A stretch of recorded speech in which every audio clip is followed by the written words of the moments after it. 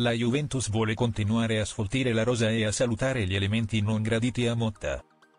Rescissione del contratto per un bianconero. Prosegue senza sosta la rivoluzione avviata dalla Juventus tesa a consegnare a Thiago Motta una rosa adatta al suo stile di gioco e capace di essere competitiva sia in Italia che in Champions League.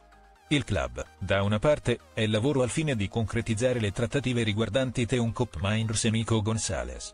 Dall'altra, punta a sfoltire ancora il gruppo e a salutare gli elementi esclusi dal nuovo progetto bianconero. Diversi giocatori in lista di sbarco, tra cui Thiago Giallo, il portoghese era sbarcato a Torino a gennaio ma, sotto la gestione di Massimiliano Allegri, non è riuscito ad imporsi nella nuova realtà. La situazione è ulteriormente peggiorata con lo sbarco in panchina di Thiago Motta, che lo ha escluso dal ritiro precampionato svolto in Germania nonché dalle amichevoli disputate contro il Brest e l'Atletico Madrid.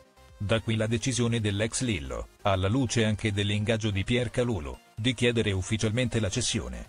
Sulle sue tracce c'è la Roma che, nelle scorse ore si è fatta avanti proponendo un prestito oneroso da un milione con diritto di riscatto fissato a 6 ed il 10% della futura rivendita.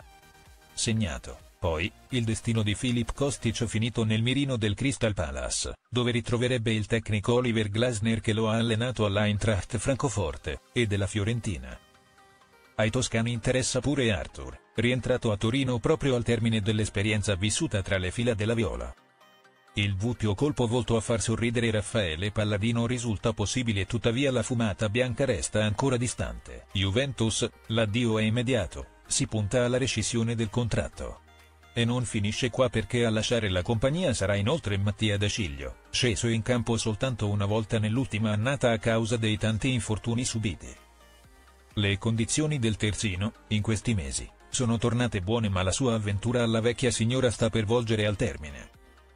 Il direttore sportivo Cristiano Giuntoli, infatti, punta a rescindere in maniera consensuale il contratto del calciatore, in vigore fino al 30 giugno 2025, come già fatto con Wojciech Szczesny. Il 31enne, salvo sorprese, proseguirà la carriera al Monza che ha effettuato alcuni sondaggi esplorativi volti a verificare la fattibilità dell'operazione. I Brianzoli puntano a prenderlo, ma soltanto a parametro zero favoriti dal fatto che il Como, altra squadra che aveva chiesto informazioni, si è tirato fuori dopo l'ingaggio dell'ex Barcellona Sergi Roberto.